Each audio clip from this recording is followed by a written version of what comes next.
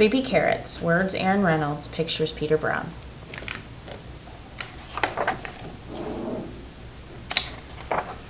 Jasper Rabbit had a passion for carrots, and the carrots that grew in Crackenhopper Field were the best fat, crispy, and free for the taking.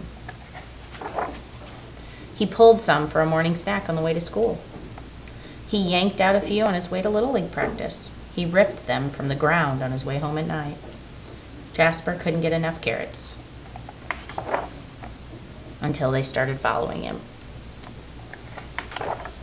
First, he noticed something strange after the big game against the East Valley Hares. Jasper was about to help himself to a victory snack when he heard it. The soft, sinister dunk, dunk, dunk of carrots creeping. He turned, but there was nothing there. Just my imagination, he thought, but he hopped a little faster. That night he was brushing his teeth. There they were. Jasper whipped around, but nothing. He laughed at himself, picked up his toothbrush off the floor, and went to bed quickly. The next morning he approached Crackenhopper Field slowly. He reached for two wild carrots. He bit into one. Nothing happened. Phew, creepy carrots. It was ridiculous. But when he arrived home that evening, Mom, Mom, Jasper screamed, creepy carrots in the shed. His mom opened the door slowly. There weren't any carrots, not even the regular kind.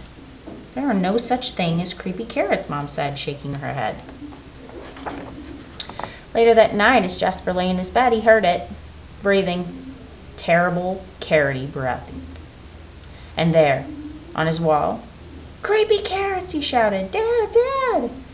His dad thumped into the bedroom and threw on the light.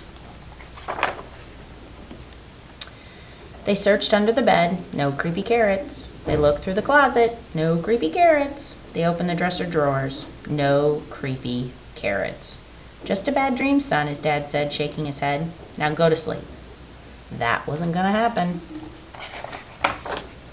By the end of the week, Jasper was seeing creepy carrots everywhere.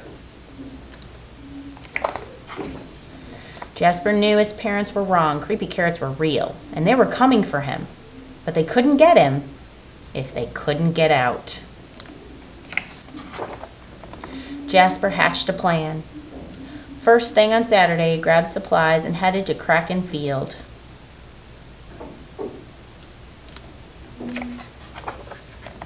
After the sun finally set across Crackenhopper Field, Jasper Rabbit smiled. On his way home, there was no tunk, tunk, tunk. There were no carrot shaped shadows. His plan had worked. No creepy carrots would ever get out of that carrot patch again.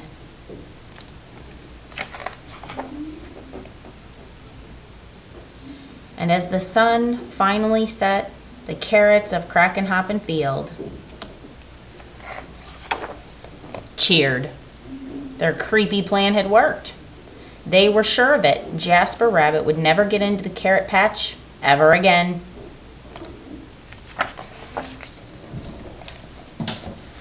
The end.